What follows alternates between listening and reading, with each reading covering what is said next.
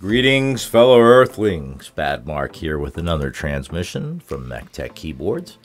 And today we're taking a look at the James Donkey A3.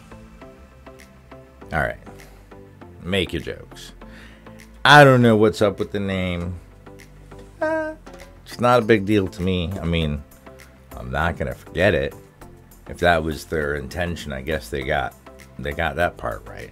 Anyway, this is the A3. This is yet another entrant to the 75% field. I have been trying to work a I have been trying to work a 75% video for a while, uh, a budget oriented um, 75% video, something to cover the choices uh, that are 75%, mostly with knobs, some without. Anyway, every time I prepare, oh wait, there's a new one. Oh, I should add that to the list because of, because of this, because of that. Long story short, I haven't gotten that far yet, so maybe I'll stop at this one. We'll see. Anyway, if any of you guys are familiar, and I, of course I don't have it in here, but this is the same manufacturer. James Donkey is the same manufacturer. Then this one you might recognize as the KeebMonkey 1800. Uh, they basically just had it white labeled to add their logo to the side, um, but in other markets it was sold under the uh, uh, the James Donkey 1800, I believe, was the model. 1800M it might have been because it is a three mode, um, wireless, and Bluetooth. Oh, and as well as 2.4, so three mode. Um, and it has different type of angles. But uh, I did a review on this one. It's actually quite good out of the box. I do intend to come back and mod it, but out of the box, this keyboard was extremely impressive. It sounded good, um, better than a lot of stock keyboards, especially at the price at the price point.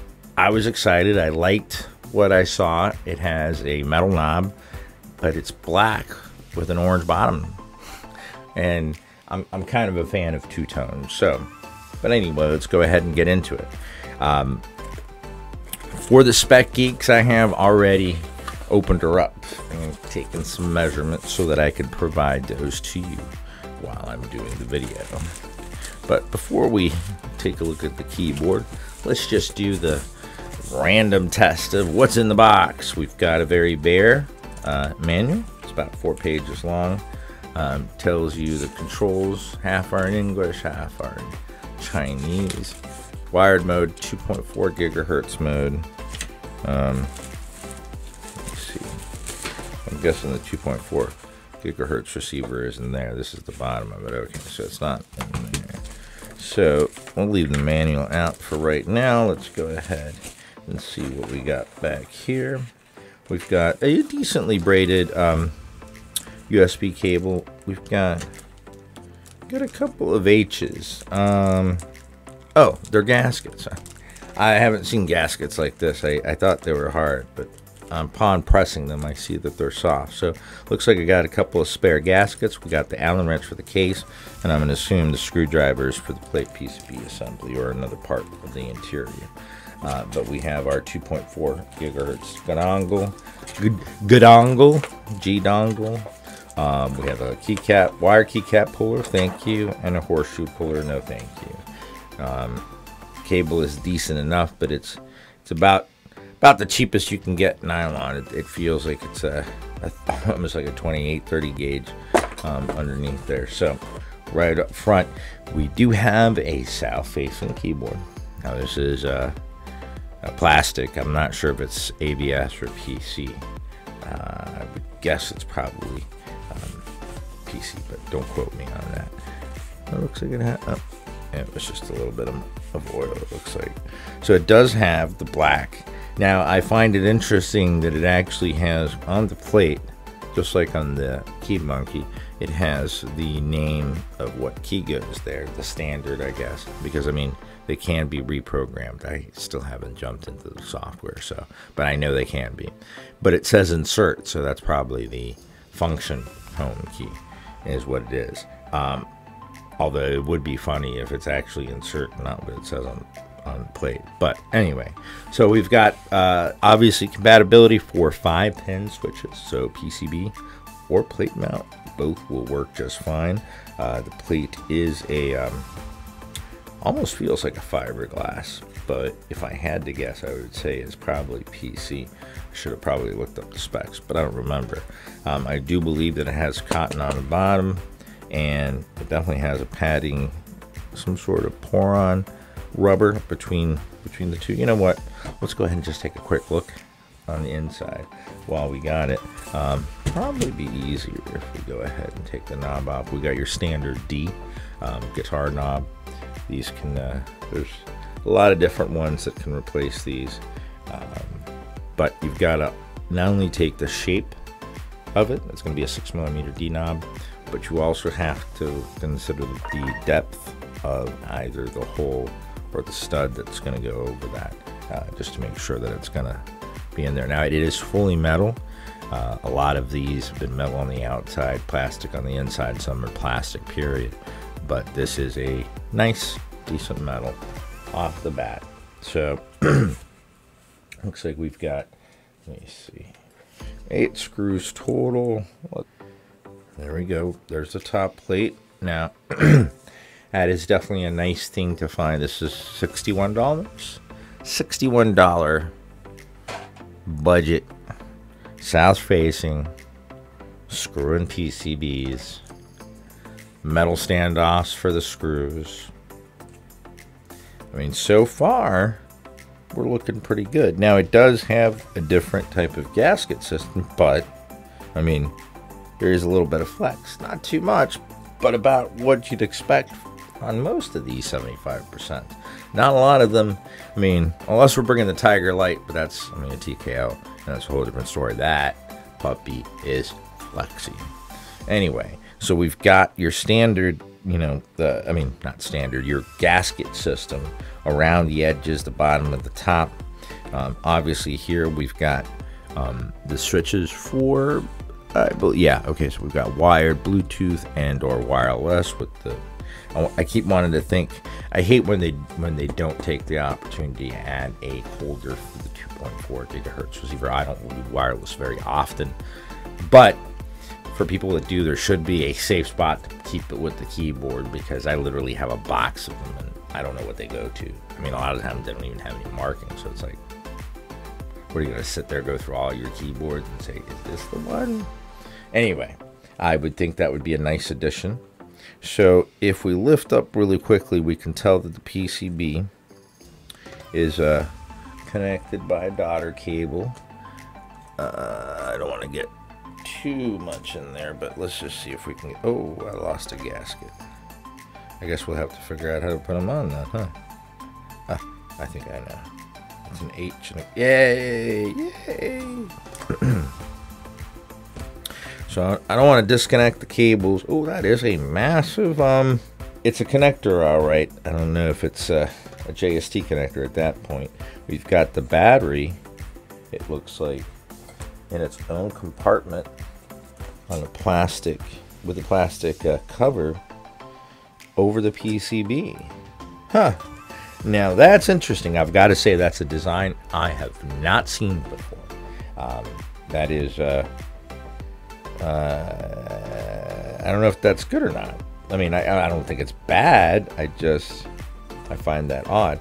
And then we obviously we have a very nice thick layer of silicone down here at the bottom. It's not quite as thick as the Victron series, but it's damn near. Um, so I'm not sure. I mean, I'll figure out some mods to do to this thing, but we're just going to be doing a stock today and see how it sounds straight out of the box. And um, but I just kind of wanted to give you a, a, look at the internals because I also was curious about the internals, and I, I knew that if somebody else was making the video, I'd be asking, "Hey, how's it built on the inside?" Now, obviously, we could take it apart further, see what's going on with that daughter cable. Um, we've also got light indicator, I'm guessing for charging. Uh, and then we have reset two reset buttons so very likely there is or will be a qmk VIA version who knows i know that they're trying they're starting to move that way but we'll see. We will see. So we go ahead and put the top back on, make sure everything is lined up.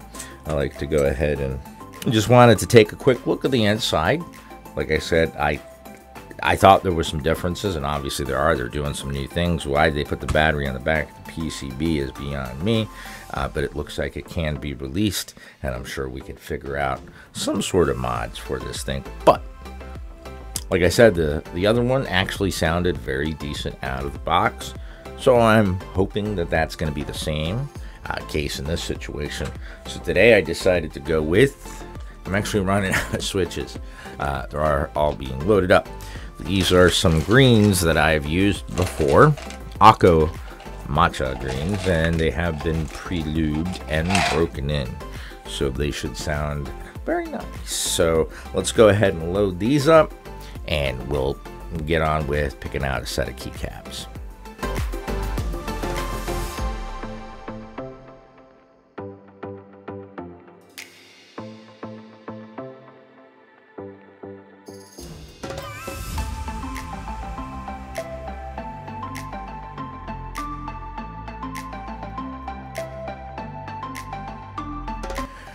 So here we are loaded up with some Akko CS Matcha green. Um, actually meant to do the RGB prior. My apologies, I didn't think about it until afterwards, but at least the green has the window so it won't tint too much. So we go ahead and plug it in. And we see that we have RGB. It is bright. It is not the brightest RGB I've seen, but it's decent. I mean, I have a lot of lights on in here and the RGB can still be seen. That's usually a good gauge that at night you're going to have some nice RGB. I know most of most. I mean, I can't say most. I think a lot of people still like to have RGB, whether they turn it on or off. It's nice to have the option there, especially if you want to highlight particular keycap set. So anyway, I haven't gone to the manual yet. I just wanted to plug in real quick and show you guys the RGB. Obviously, using these, they're gonna, if you did like a white color, obviously it's gonna be tinted a little green, but for the most part, it's not going through the housing. There's just kind of a window there for the LED light to shine through. But I mean, she's, she's a, a nice looking board. Uh, like I said, it reminds me of the uh, GMMK Pro but obviously better and more than half the price, or less than half the price, I should say. Um, excuse me, and also has wireless for those folks that need the wireless ability. So I'm gonna go ahead and plug it now. And I thought that this keycap set would be fitting for this since we have the two-tone I mean, I know the orange isn't going to match, although it is pretty close. So I figured we'd go ahead and go with the retro, trying to accentuate all the orange as much as possible. So let's go ahead and open this up and load her up with some carbon carbon retro keycaps from Akko. And unfortunately, these are cherry. They're not. They're not ASA. ASA is being one of my preferred um, layouts. These are just the uh, the cherry. Oh, and there goes that. And there goes the dynamite. All right, so basically we've got, um, I forgot what do we have in the extras. These are, oh, hey, we can really bring out the orange. Hey, hey, hey. Cool. All right, so we're gonna try to go ahead and go with the orange alphas and just really uh, make the orange pop for this one. I haven't even, I hadn't even opened this bag yet. So um, guess we'll just pour them in the box and go. Let's load her up.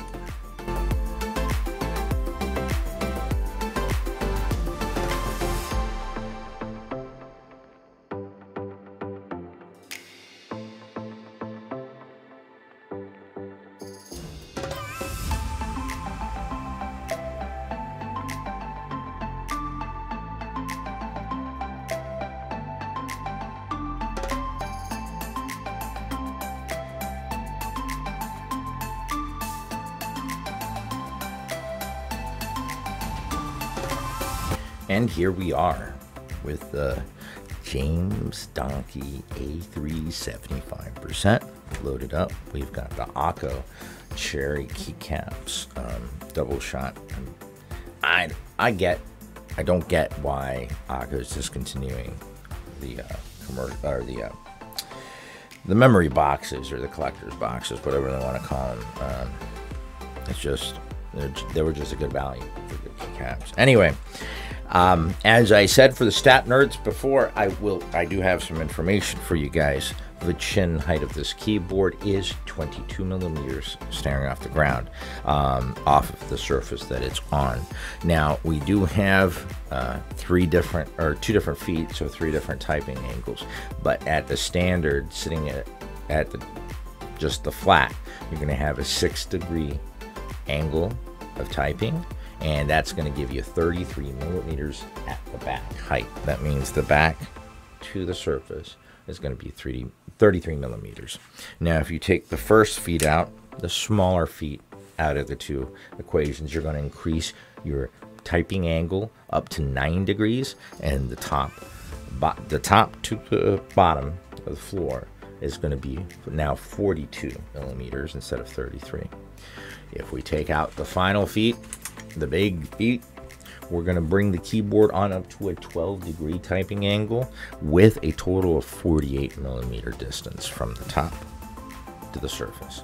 So other than that, I can't give you too much more specs until I start digging into it. I definitely, um, so far, I'm liking what I see. I like the heft of it. You know, I mean, it's it if I were to grab this blindly, I'd say, oh, this is a keyboard I must have already modified. You know, if I didn't know what it was, I couldn't see in the dark because it has that heft that's given by that bottom silicone pad. Now, that silicone pad, it's very similar to the one that was in the Feker Alice, which, though it, it, it was very clean sounding, it was well muted.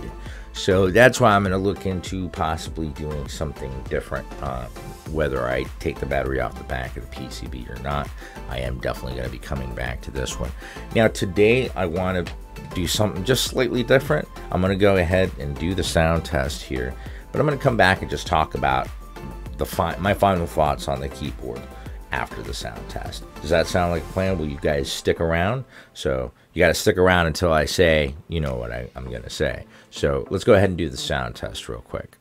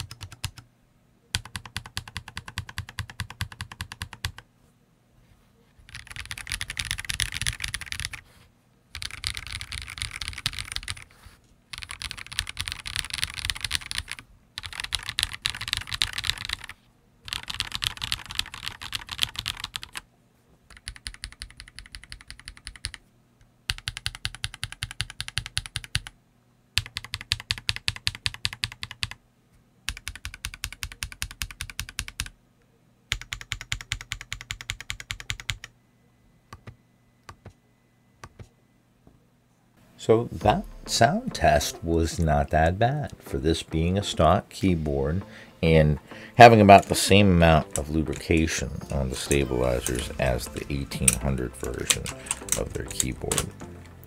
I mean, it's they basically just placed a dollop on the top. Uh, these could really be really lubricated, but for it being stock, I was I was surprised with the KBM 1800 as well how well it came off sounding stock. I thought it was going to sound pretty rattly.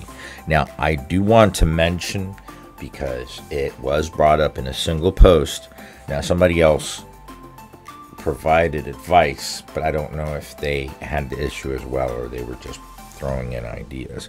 Uh, but the post was that there was binding when using uh, SA or OEM keycaps, taller keycaps with these. And I've tried OEM, SA, ASA, MT3. I have yet to find a binding issue, but I see that there's more than enough space in between where the, the, bottom of the space bar is and the edge of the case is. So I'm going to assume that that unit they received was one that's defective. Hopefully, um, they can get a replacement. If they need any help, let me know. I, I can jump in and help and see what I can I can do. I've, I've been able to help in the past. Who knows? Anyway, uh, obviously it doesn't sound you know S tier off the bat, but I was honestly surprised.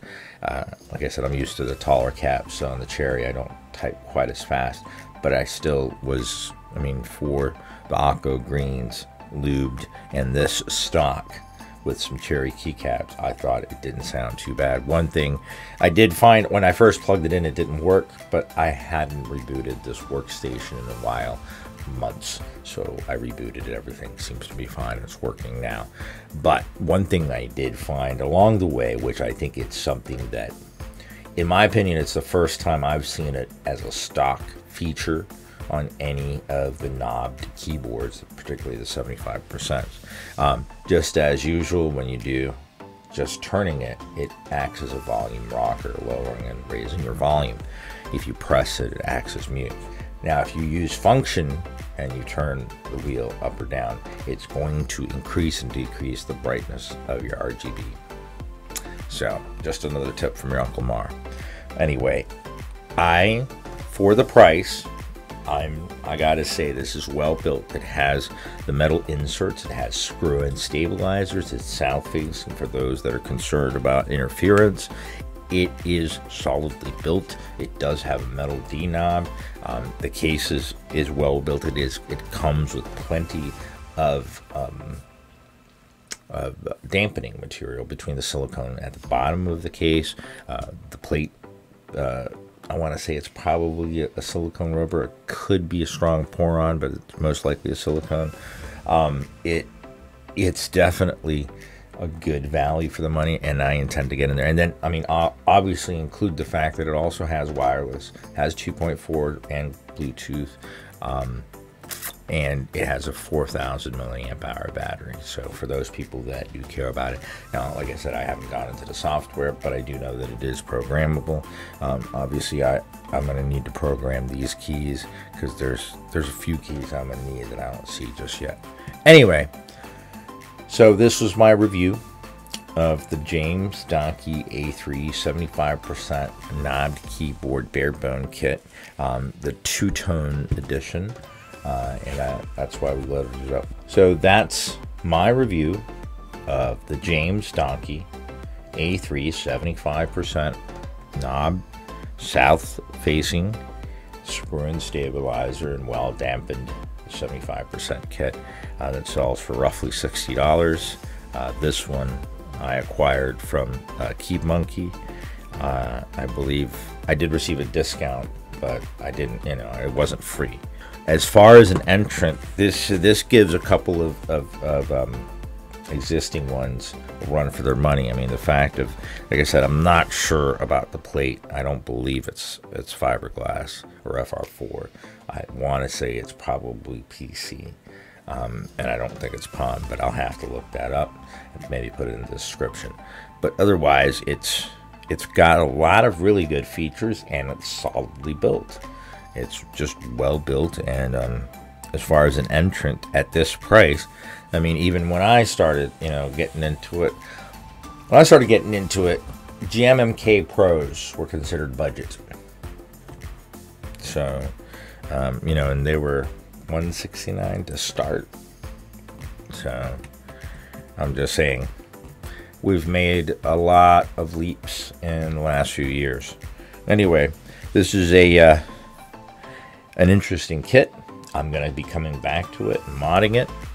I, I do enjoy it. I may actually uh, daily drive it here for a little while and see what it's like. Uh, I find that it has interesting angles. But again, I just I think it's well built, um, which you know, they, they took consider. It's almost like they were listening. Like, hey, people don't like it when we don't have metal inserts. Let's put metal inserts in. You know, people like easy gaskets. Well, those gaskets I've never seen before, but they're easy and they work. Um, you know, hey, people might want to control their RGB brightness just by hitting function. So I feel like more thought, you know, was put into the design process. So I'm looking forward to any other keyboards that this company has to offer because this is a good value for a good price, in my opinion.